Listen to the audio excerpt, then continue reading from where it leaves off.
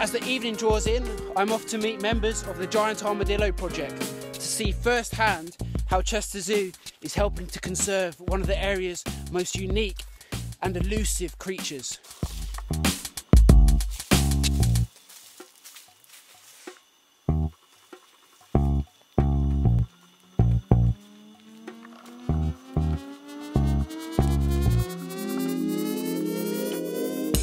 Since the beginning of this project, using equipment like the camera traps prov provided by the Chester Zoo, we could find out that giant armadillos also provide homes for more than 57 species, like the ocelot, lesser anteater of the tamandua, uh, crab-eating fox, rodents.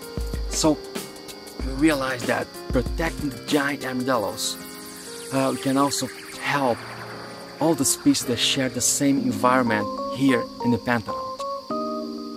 Getting pretty dark now and I'm absolutely covered with mosquitoes. But we found our first giant armadillo. We have an unidentified individual which has just left its burrow and entered a wire sort of capture device. So I'm going to have to rush out of here uh, and see if we can secure this animal and put it into a box overnight before we can anaesthetize and examine it properly tomorrow. So yeah, exciting stuff.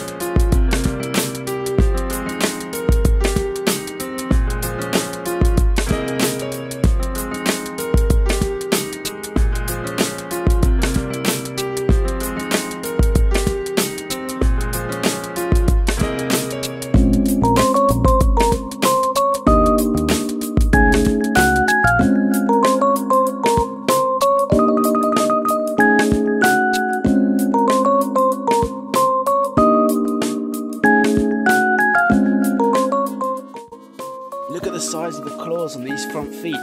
They're bigger than polar bear claws.